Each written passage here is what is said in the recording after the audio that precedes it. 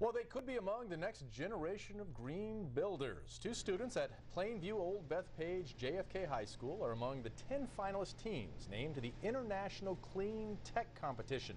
The students were challenged to identify a problem associated with buildings or homes and the materials they're built with.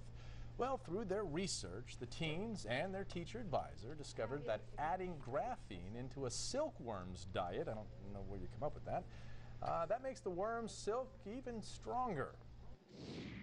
That feels absolutely amazing. We've done local fairs and all of that, but to be able to enter a global competition and come out as a finalist is something that's incredible. Kevin Mars is sitting there going, duh.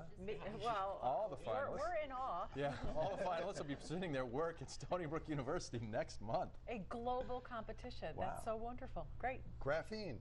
Who knew? knew? Silkworms and Silkworms, graphene. There you go. So you have very strong thread, like, kind of like Spider-Man thread, Mm-hmm. perhaps. Maybe the next superhero will come out of that.